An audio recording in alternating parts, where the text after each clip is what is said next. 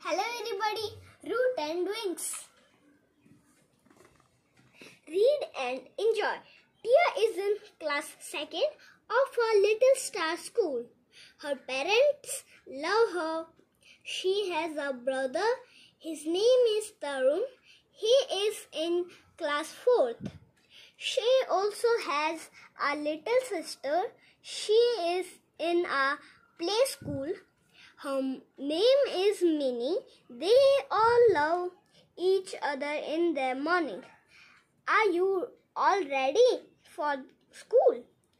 Yes, we are ready. Have a nice day. Bye. In the afternoon, she school gets over. Mother comes to pick Pia and Tarun. They run